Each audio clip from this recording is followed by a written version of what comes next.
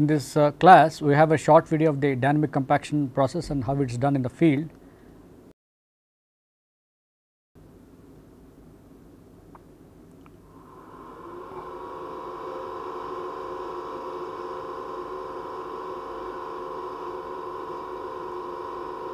You can see that it is uh, being done next to a shopping complex.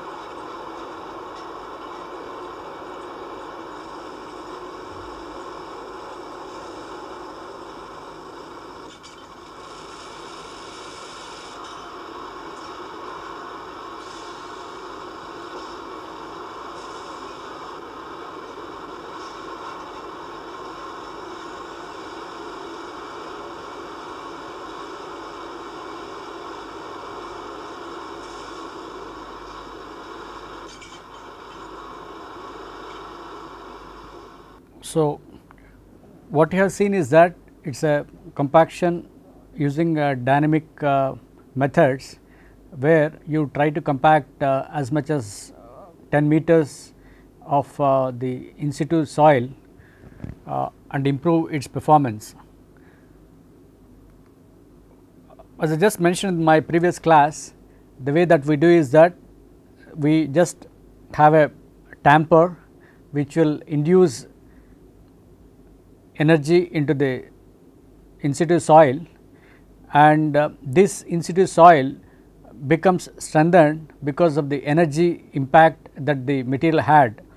The energy whatever we have from the weight, weight into the height that is the potential energy that gets transferred to the soil in the form of uh, kinetic uh, in the in the movement. Now, it gets transferred to this uh, soil system the the from that potential energy it gets uh, that whatever is energy that gets transferred to the soil and then there could be some energy losses here because the soil itself is uh, a damping material.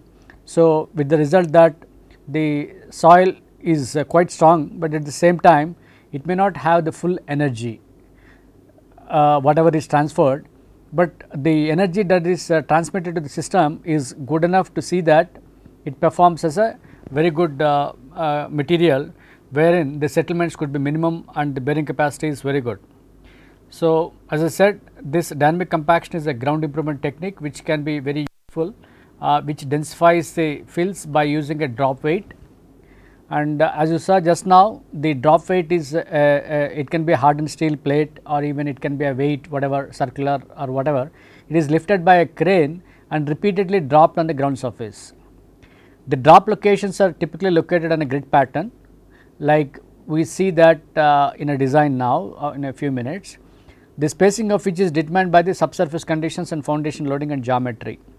Essentially we can have the uh, mo most of the times a grid pattern and the main thing is that the subsoil conditions like uh, the thing is that uh, to what extent is that soil uh, needs to be improved and then the, what is the foundation loading that is coming and the geometry all that is very important and um, normally as a treating granular soils and fills uh, have always resulted in increased density, friction angles and stiffness. We will see this how it, it can happen and as I just mentioned this technique has been used to increase bearing capacity and decrease settlements and liquefaction potential for plant structures. In fact, uh, this is one of the very important applications and in shallow karst geologies where the soil has a tendency to collapse, um, it actually reduces the voids prior to construction so that the uh, sinkhole formation or potential is reduced.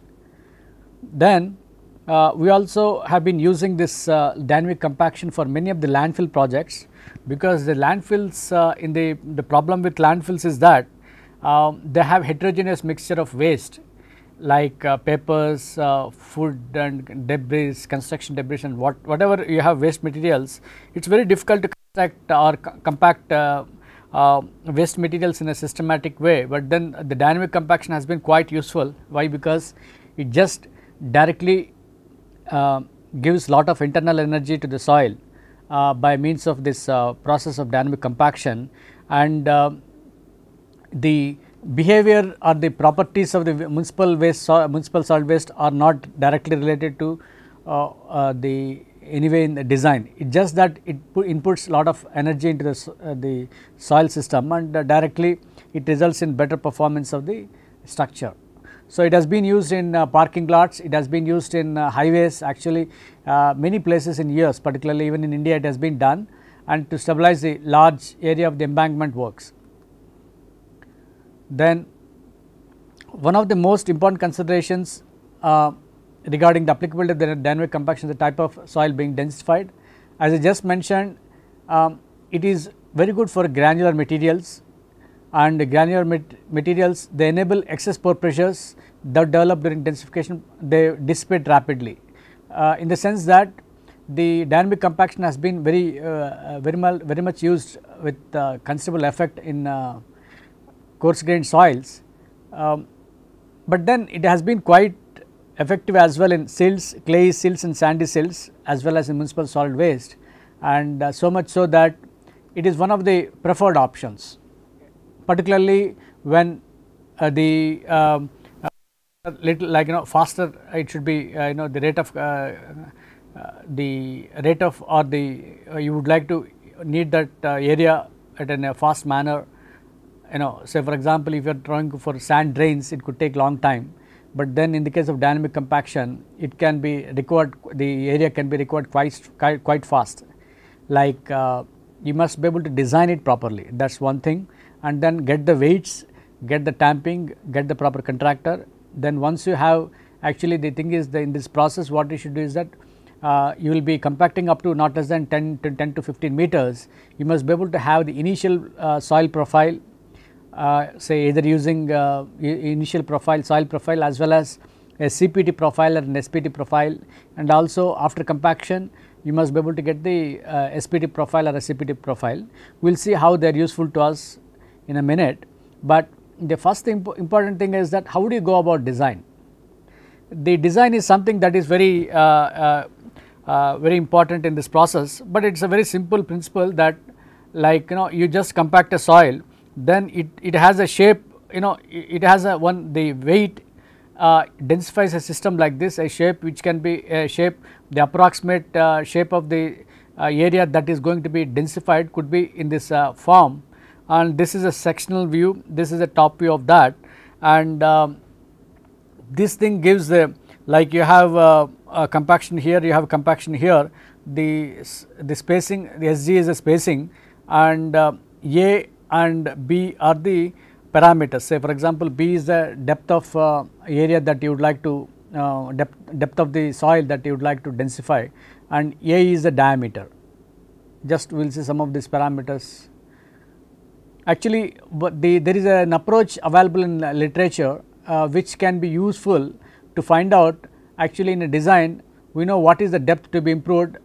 So, we should be able to know what is the number of blows required what is the weight of the hammer required, what is the height of drop, what is the area of the uh, area of the you know cross section in the sense that if you have a uh, 5 by 5 meter you know 5 meter you know diameter. So, pi by 4 into d square will give you the area of impact then b is the depth. So, uh, there is some relationship available in literature which has been quite useful to come out with once you know this uh, you will be able to know the dimensions a and b. Uh, so that either with this knowledge you will be able to properly get the idea of what should be the uh, in given that you have this weight say for example 10 ton or 15 ton weight and you know this is the height of drop and uh, its area of cross section is known, you must be able to design what should be the, uh, the spacing, what should be the spacing and of course, we should also cater to the depth of improvement also. So, we will see that in an example. For example, the, uh, the required significant depth of densification is given by di is half into square root of w h into h this is that uh, a simple formula in which uh, earlier also I showed in the previous class about on the dynamic uh, compaction methods. The di is a significant depth of densification, WH is the weight of hammer, H is the height of drop. Actually in that uh, previous uh, design diagram that I gave the depth of uh, in, densification is nothing but the B. If you see the figures they both are same and if you know the hammer weight, the height of drop, the dimensions of the cross section and thus the area and the depth can be obtained. Uh, say for example, this is what we see and uh, this using this plot which is given in a Canadian Geotechnical Journal paper, you need to estimate the magnitude of this particular factor actually. And uh, since these are all you have some numbers here. Say for example weight and height and all that. You have to uh, you can determine the number of drops in a quite comfortable way. And you will also cross check what will be the A and D values. Like what is the so A is actually A tells you the spacing and B tells you the, the uh, depth. So, for example, in a typical example weight of the hammer is about 18.5 tons or 185 kilonewtons. Then the height of drop is about 26 meters and the weight the weight of the, the, the width of the hammer say for example it is 5 meters. So, first step is you calculate this uh, depth, depth of uh, significant uh, influence. This is given by this expression. About 10 meters is what is required. About 11 meters now using these values. And uh, now we assume d I have taken it as 5 meters and area of cross section is 25 I am just assuming it as square for a simplicity. And uh, if you just get this b by d you know actually when you I have to refer to the graph where I should go by these numbers it's I get a term called uh, to uh, this b by d is like uh, 10.96 divided by the diameter. So, 2.2 I will get. From the for this particular number I get a number NH is equal to 220 kilonewton per meter square. Now, I know these weights already say for example, I have given as WH as 18.5 height of drop and area of cross section everything is known. So, what for corresponding to 220 I should just uh, get back in this uh, particular term um, the number of uh, drops. So, for example, in this uh, term I know what is 220. So, I am just getting back working back what is the number of drops. So, you will get a number 14 and once you know this from the same figure you can also get A by D. So, A by D in the same figure gives you 16 meters as a spacing. So, what it means is that thus using a square uh, plate of about 5 meters for a height of drop of 26 meters with 40 number of blows at a grid spacing of 16 meters using a weight of 18.5 uh, tamping enables a 10.96 meters depth of improvement. This is what the statement is like you are able to now design some in some sense using these two figures uh, the uh, the depth of uh, uh, the you, you are able to understand with a known weight and the height of drop you will know what exactly are the um, uh, variables involved. In fact, if you want to go for higher depth you can increase the depth of uh, height of fall or if you want any other you can always play with uh, some of the variables and come out with uh, whatever is required. Say for example, if you need only 6 meters you can alter the whole design by using appropriately all the numbers essentially like you know the variables are that you will have you know height of drop is one variable and uh, the spacing is another variable. So, one can check and then uh, come out with a simple design and then once you have to because as I just mentioned here the design is a very uh, like you know it is a very simplistic design and the best thing is that you have to verify how it is correct to what extent this uh, uh, deep compaction is effective. So, what you do is that we go for in situ evaluation of uh, uh, the deep compaction methods. And uh, the way that we do is that you try to analyze the construction process itself like to what how is the process designed? Like as I just mentioned like um, the the uh, um, calculations procedures we have seen we can do a parametric study on that and do a proper construction method sequence and then also like say for example uh, if there is a problem of noise also with the, because of the deep compaction you can even uh, go for uh, smaller heights and uh, closer spacing something like that. You know one can always work out some some sort of uh, processes wherein um, you can still get the effective improvement. And the other important thing is pore pressure and settlement records because the pore pressures and settlements are very important and say for example finally you, you may have initial settlements very high, but the final settlements need to be very very low. That is subjective. So, you can only get that from settlement records and pore pressure uh, records. As I just mentioned many of these materials uh, like particularly in the process of dynamic compaction um, the pore pressure is mobilized because the rate of loading is so much that uh, there is a lot of pore pressure generated and the rate of dissipation of pore pressure gives you what type of soil it is. Like say for example in clays you can only say that pore pressure uh, mobilization is very important. So, you have to do the next time lag you know you need to really uh, uh, next type of next tamping when can you do? Like you know you have done uh, a few tampings now. Uh, how do you really release the next time the weight you know? Some of these things you can get an idea from uh, the pore pressures and settlements observations and so that the things are effective. Like you know say for example if you keep on tamping it without understanding its uh, pore pressure response uh, it may not be very effective. But if you really understand all the pore pressures to be dissipated to some extent and then again tamp it like you know your uh, uh the sequence of tamping is something that can be properly optimized. Then uh, what we do is that requirement of the imported fill to achieve a certain grade. Sometimes uh, see what happens in a particular place like uh, the whole area is very soft and uh, or some so you are bringing some other uh, soil from nearby island. And then you are trying to um, require see that it is uh, densified you know because in some places uh, for example I just mentioned in uh, Singapore and other places you will see some more examples here. You have to get soil from somewhere and start compacting. So, in this process what happens you have to really check if the imported soil has that properties. Like if it, if it has achieved that uh, density or uh, uh, water content and all that. Then the another variable another variable is that energy consumed by the equipment itself say for example the uh, energy that you have put into the soil system is something that has a very good influence if higher is the energy that is transferred to the uh, in situ system then more efficient is the process of compaction. So, you must be able to analyze uh, every bit of this information here and uh, come out with proper uh, understanding. And uh, essentially when if you want to really quantitatively and estimate the evaluation the the the state of the soil because of the deep, deep compaction you must go ahead with some tests. Say for example you are familiar with SPT test. Deep penetration methods standard penetration resistance we should get.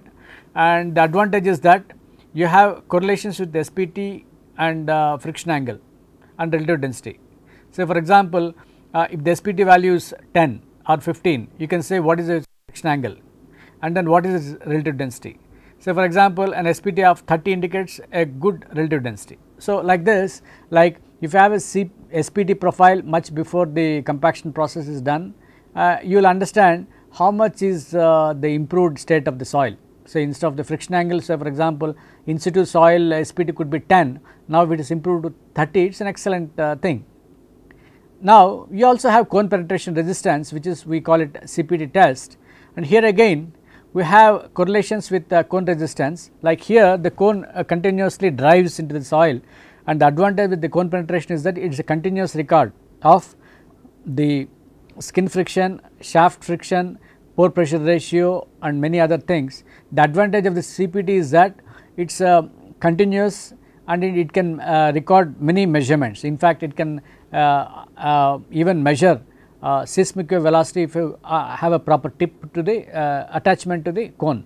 So, it is so much useful nowadays. So, here again you have correlations with cone resistance and overburden pressure. So, in fact, as higher is the overburden, higher is its resistance and higher is the relative density. So, you have some uh, uh, the literature available which will clearly tell you if the density is very good. Then uh, the as I just mentioned compressibility estimates from penetration test. Say for example, if you as I just mentioned settlements are very important. So, if you want to measure settlements uh, you need to have proper instrumentation and also you need to estimate settlements also. So, for example, you, ha you have an SPT value n say 10 10 so, if you have uh, if you want to use a modulus in uh, any of the finite element calculations what, what happens is that you need to have these parameters in uh, one, once for analysis. Once you do an SPT test or a CPT, CPT test how do you use that in the uh, the analysis in design is very important. And uh, suppose you have an SPT, uh, SPT test you can say that the Young's modulus is related to SPT value in this form like E equal to 2.8 n MPa it is a simple expression and um, say SPT 10 will give you about 28 MPa you know so which is somewhat uh, uh, poor but then if you have a 30 number it is quite good. So again stress strain parameters from cone penetration test is another example constraint mod modulus is another value that one can get. You have different types of moduli in soils like uh, uh Young's modulus, uh, secant modulus, and many other uh, parameters like you know uh, one dimension modulus from constraint the one dimensional consolidation test modulus from triaxial test.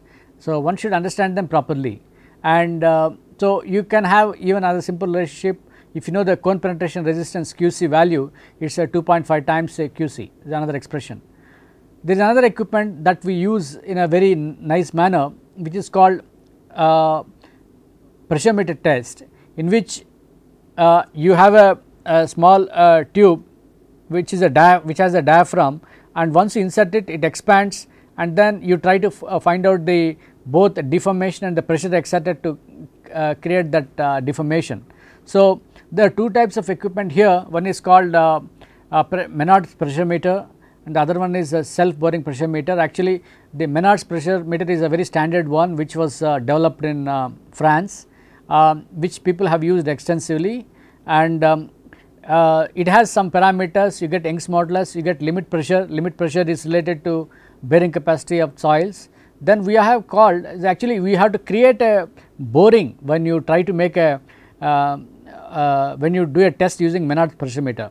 But later people have done a, a advancement that the pressure meter itself makes a self bore. You know it is like you know you make a bore and then uh, put the instrument back. The problem is that there could be a sampling disturbance and other things so, they have overcome some of these problems by using what is called self boring pressure meter which is a very versatile equipment and people have used it. There is uh, here another equipment called dilatometer test. See the pressure meter test and uh, uh, dilatometer test are very well practiced in uh, like in uh, Europe. For example, the pressure meter test is widely used in France and then dilatometer test is widely used in Italy because uh, they are the uh, countries of origin.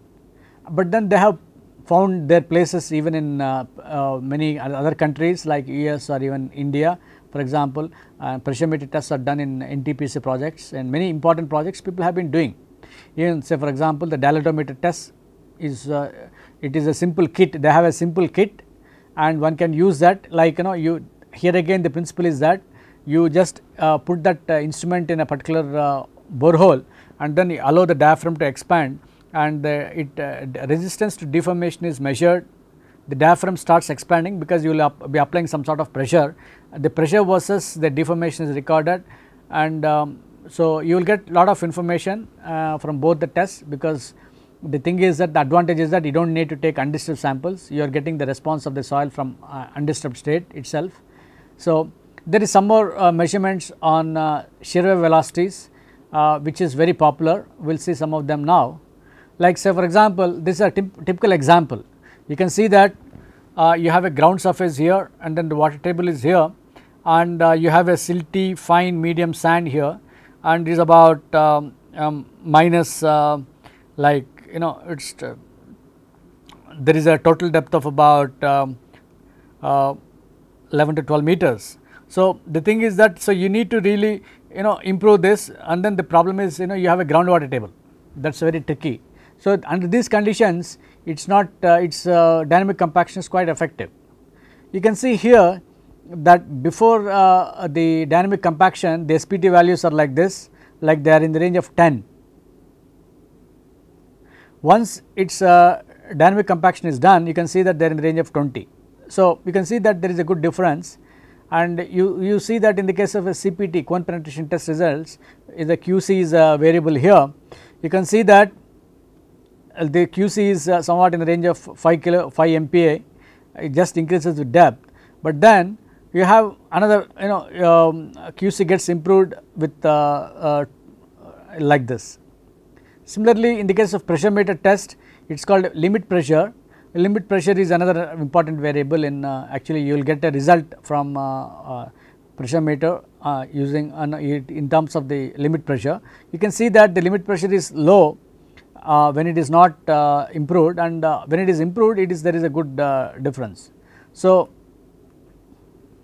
that is what I just mentioned the pressure meter this is a self boring pressure meter kit like this is that particular material and then this is a gauge and uh, this is a, a, system and then all of them you know this these are the extension wise you can go up to 10 to 20 30 meters quite comfortably and you will get a nice profile of its properties. And a typical expansion here you can just see that we call it cavity strain say for example these things are all based on cavity expansion. Like you know you add uh, you it is a uh, there will be uh, oil and then you apply some pressure it cavity expands and then there is a strain here cavity expansion strain you are trying to measure and uh, so this is how loading portion is there and uh, loading and then this is unloading it comes back. So, this will be the in a particular borehole say for example, this is a old record uh, somewhere which I took from this some source you can see that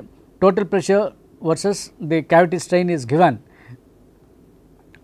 Uh, this can be used to obtain various properties such as Young's modulus, bearing capacity, settlements, Poisson's ratio, many things. There are a lot of uh, information on this. So, this is a dilatometer I just mentioned a similar one which in where you have a diaphragm here and then it is a simple kit actually it is a very simple equipment. This also has a very versatile applications and shear velocity measurements. Here again like as I just mentioned whether the dilatometer is also very useful, pressure meter is also very useful and shear wave velocity measurements.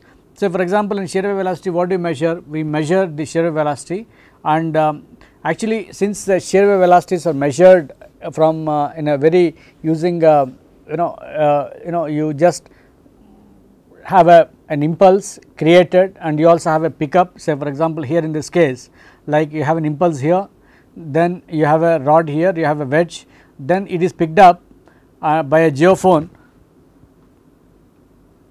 and then based on this you have uh, shear, shear modulus measurements, Young's modulus measurements and all that. So, you can see the difference here like before uh, dynamic compaction the E value the shear wave velocity values are uh, like this whereas after deep compaction it can be like this.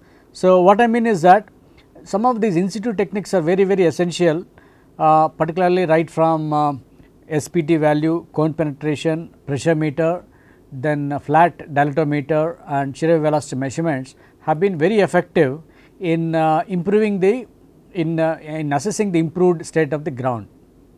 So, what I will do is that I will just take you to a few case studies because um, the this is say we have some case studies which are well documented.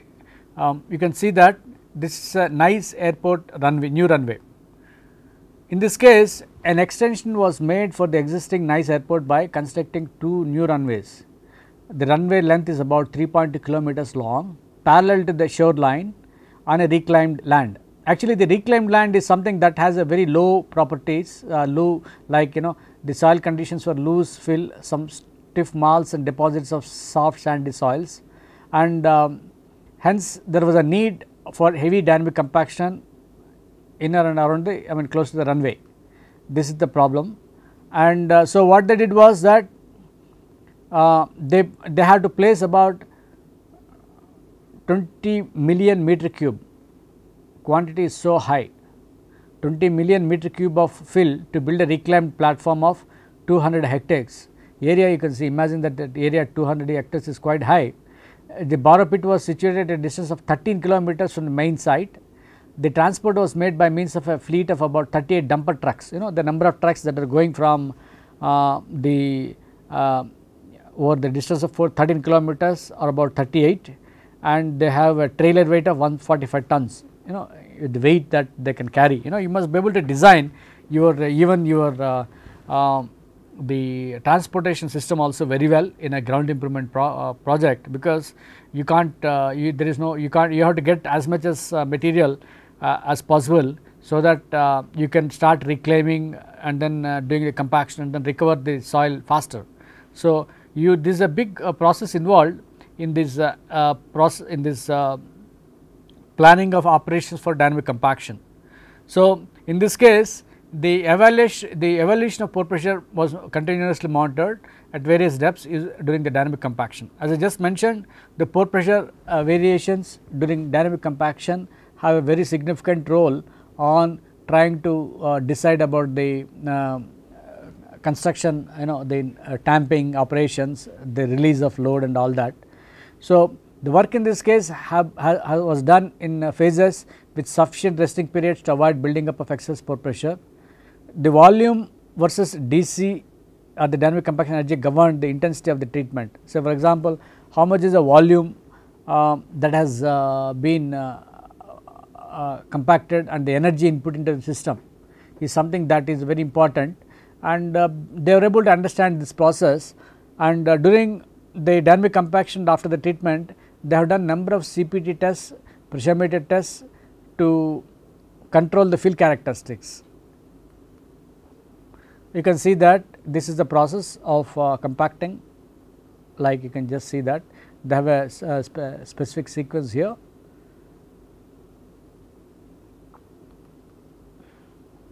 So, uh, there is another example here where uh,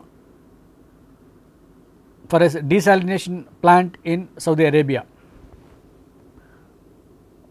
Uh, actually, it, this is one of the plants which required uh, uh, which was required to be constructed to meet the growing demands of the water and electricity in Saudi Arabia in uh, some close to about 110 kilometers from Jeddah and the soil has two types of profiles and this first one was a, uh, the loose material loose to dense sand and the second profile was uh, composed of soft or a very loose silty sand. This was followed by bedrock. So, you can see that it is quite uh, complex and uh, so what they did like it has uh, the projects also had it's quite uh, uh, huge like since it's a more of a water supply project it had uh, 12 evaporators 3 tanks and number of related buildings. The tankers diameter and height were about uh, 106 meters and 20 meters high. The design criteria stipulated a bearing capacity and uh, maximum settlement of about 200 kPa and settlement of 75 mm for the tanks. See this is even we have you know for example in uh, very soft soils on soft soils you must be able to construct uh, uh, water tanks in villages. So for example in many of the coastal areas in India. So the bearing capacity requirement could be like this and the settlements could be uh, even this 75 mm is uh, valid there also. So you need to really improve the uh, particular thing using particular some sort of ground improvement technique. So that way one can see that this is a very stringent requirement. You can see that for the water tanks they had a 200 kPa uh, as the bearing uh, capacity and 75 mm is the settlement. For other structures the same was required to be 150 kPa and 25 mm set respectively like you know 70 mm is uh, it all of structures say for example, the water tanks it could be little higher it may be a, raft type of foundation uh, that they were had, but in this case of isolated footings you should have a settlement of 125 mm or something. So, it is very important that the whole area needs to be stabilized. So, because there was a presence of loose sands and soft silts, it was decided to optimize the foundation solution by implementing dynamic compaction and dynamic replacement in the project. So, the choice of this technique was dependent on the uh, soil characteristics.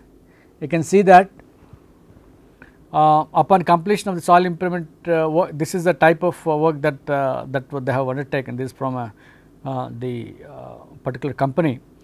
they have done 75 pressure meter tests and load tests to demonstrate that the acceptance criteria had been achieved. Say for example, the acceptance criteria is what? The bearing pressure and settlement. So, you can calculate the bearing pressure settlement using uh, uh, limit you have you get a parameter called limit pressure.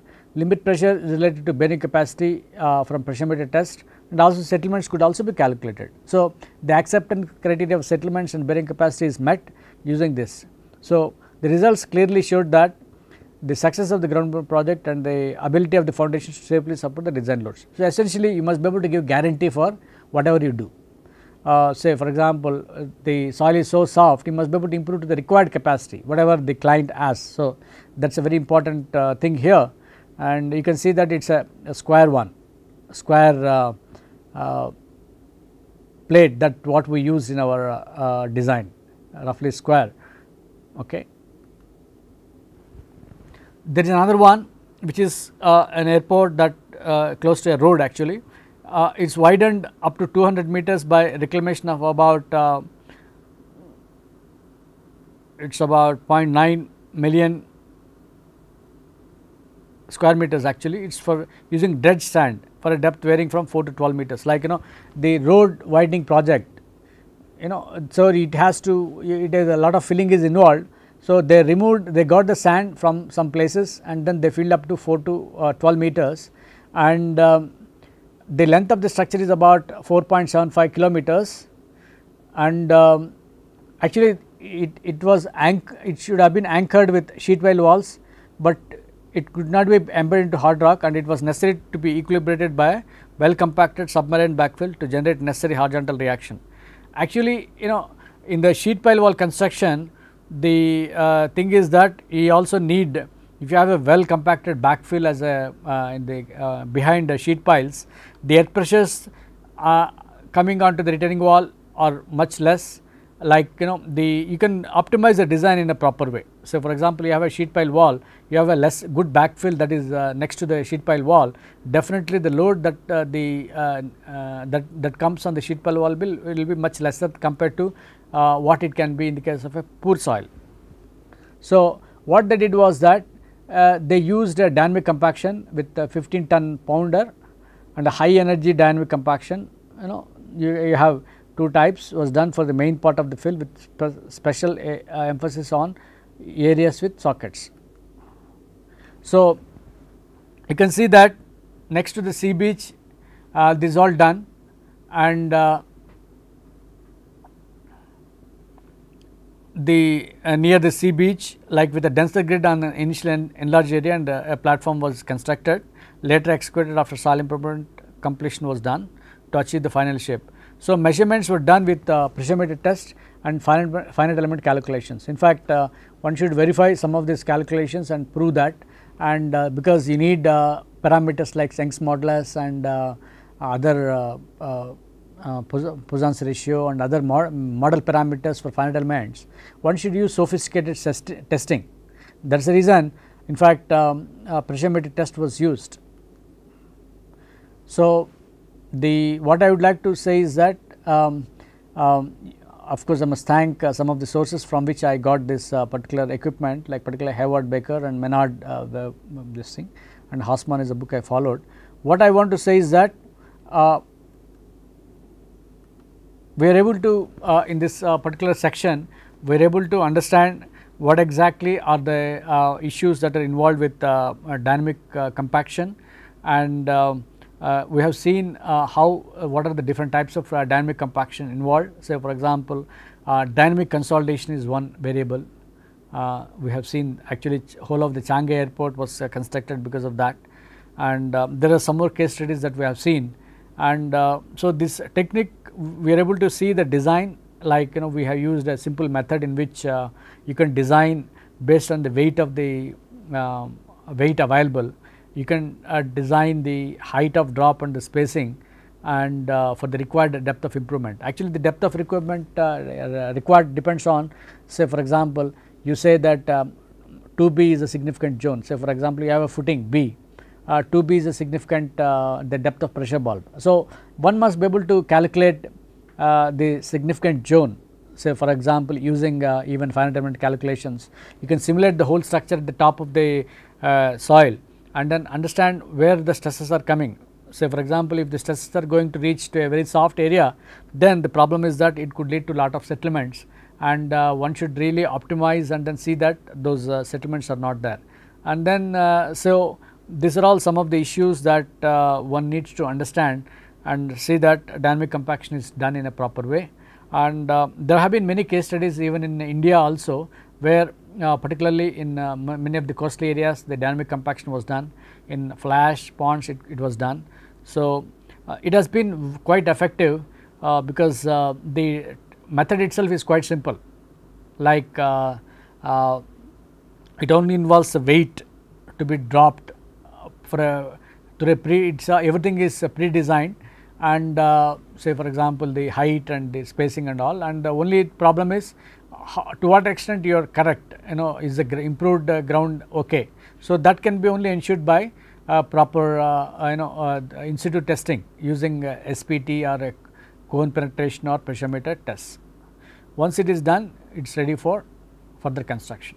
We will take up one more case study on dynamic compaction.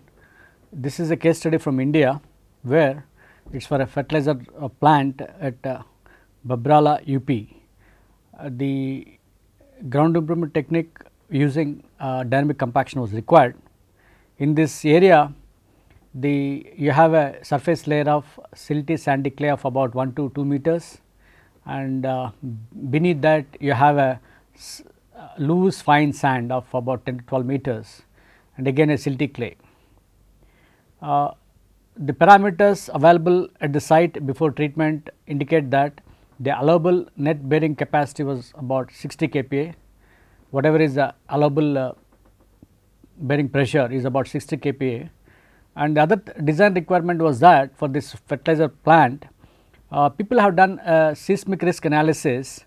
And uh, they find that the risk the design earthquake coefficient uh, should be corresponding to an earthquake of magnitude of 6.4 which is uh, corresponding to peak acceleration of about 0.2 g.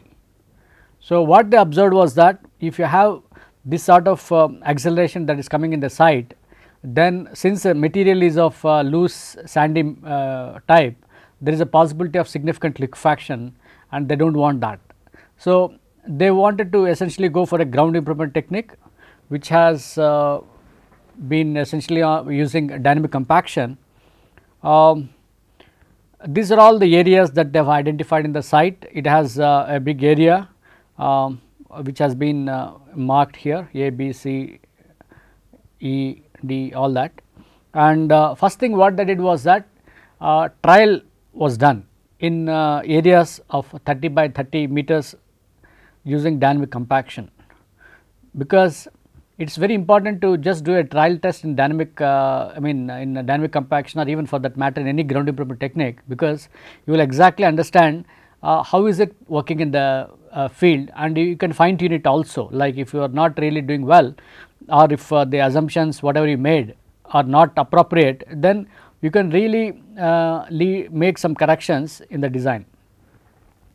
Uh, you can see that this is the experiment that was done on the uh, field you know trial trial site where they did uh, uh, static cone penetration both uh, SPT as well as uh, standard penetration as well as static cone penetration test and this is the figure that shows the um, profiles. you can see that the SPT profile is uh, very clear like you know the SPT value is very low like 5, 5, kil, 5 uh, blows and then whereas it increases about 15 which is not really a good number.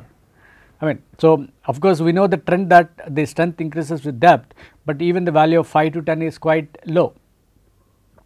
Now after the uh, improvement they just see that they made it uh, they did uh, some sort of uh, testing in the in the it's a trial section. You can see that the SPT improved to some extent and it was good everywhere the this point was away from uh, this point and there is a good difference. And uh, one can also see that there is another line that if you take SPT values after 1 month there is another increase some more increase. What it means is that and normally you know like uh, in the time dependent behavior is there. If you allow things to happen like you know say for example con consolidation is a time dependent uh, phenomenon in clays.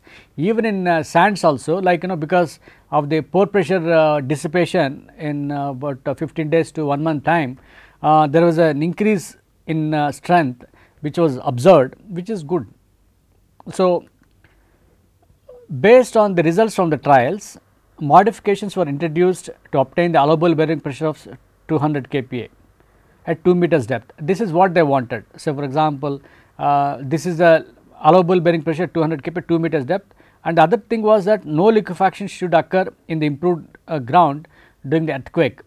Actually, the requirement is that in fact, uh, there is a standard rule like if the SPT value is about uh, 25, you know then the liquefaction will not occur which means that there is a very good density.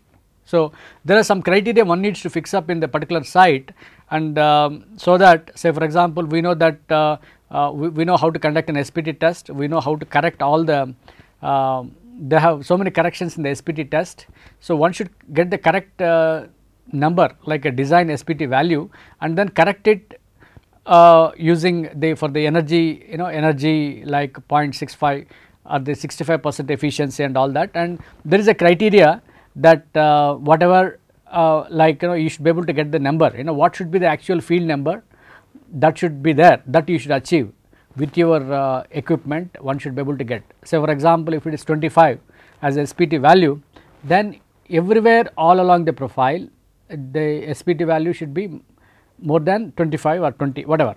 So, in this case once they really figured out that uh, these are the uh, requirements in the particular site uh, they went ahead with the treatment and it is uh, very interesting that they had 4 passes it is not uh, number of passes like 4 tampings.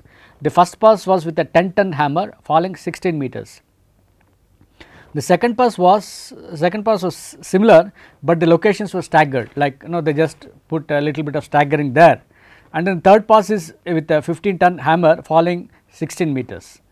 Now the weight of the tons is uh, like you know it is a little higher like 15 tons. In the previous case it was 10 tons. And uh, finally the in the last one it was made with a 5 ton hammer falling on uh, falling 16 meters on a grid of 2.5 into 2.5. Uh, actually in the beginning itself I just said you know if you just make it uh, um, you know closer closer then uh, you know you have a shallow depths densified if you take little deeper the possibility is that the deeper materials get uh, strengthened. So, uh, these concepts one can use and then come out with some uh, good improvement. You can see that the uh, treated soil was uh, you know was assessed in terms of the SPT values because that is a assurance you know like if the contractor does that uh, work you have to see that he, you get this number. So, the quality assurance program consisted of having SPT values more than what is required. So, for example, you can see that uh, this is the before it was like this, but whereas it was consistently about 20 say for example, it is 20 which is reasonable. Um, so, this is in a particular location area A.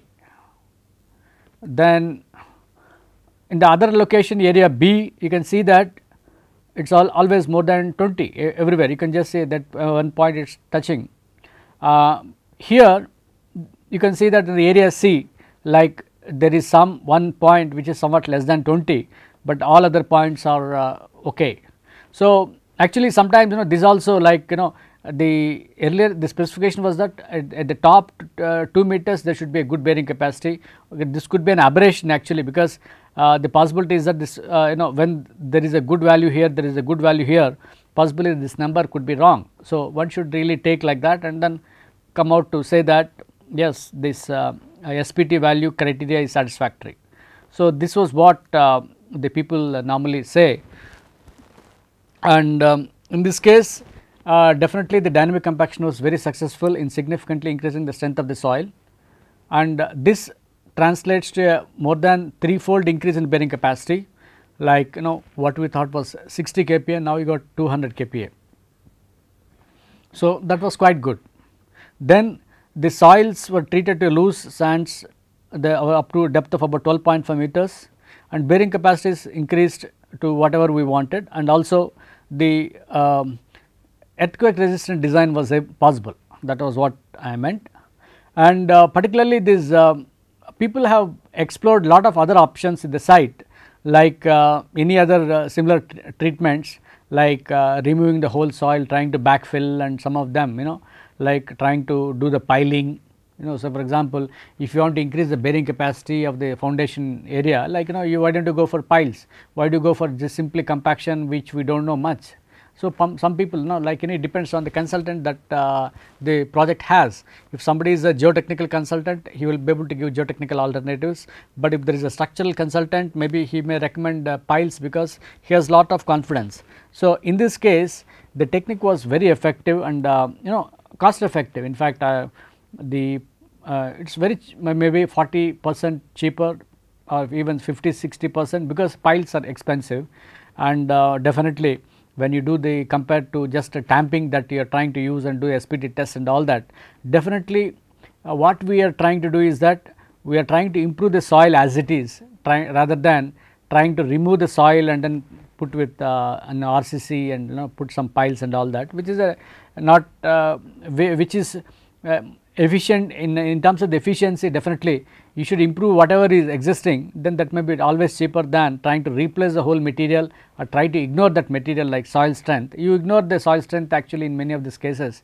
You do not uh, particularly when you design the uh, pile foundation you do not consider the soil between the two piles pile groups or you know what is the role maybe you can consider the skin friction and something like that in a uh, sandy material, but its contribution largely is ignored but then here in the ground improvement techniques what we do is that we just compact the material to what we want. Like uh, then some performance you specify. Say for example SPT 20 you will get it. Uh, you have to you have to do it till you get it. So, particularly this is very useful when you are trying to handle large foundation areas say for example uh, you know uh, costly areas. Uh, they result in cost effective uh, solutions because depending on the size of the project the type of uh, soil conditions say for example as I just mentioned the uh, um, the techniques of um, dynamic compaction it can the range is quite big like right from uh, municipal solid waste to sands it can take care. And the cost of suitable fill material is also important like in some places you have to borrow some material. Like say for example we just now you know in, in the previous case studies we saw that in, in some places to construct the airport you should bring land soil from nearby islands. So, possible possibility is that they could be expensive. So, one should really weigh against many uh, uh, alternatives and decide about which is the best. So, in this lecture I would like to thank uh, many of these people uh, Shafraz Ali, Professor Gandhi and then some material I have taken from this and Hausmann book. So, I am sure that uh, with this uh, you have a good uh, understanding of the uh, ground improvement technique using dynamic compaction.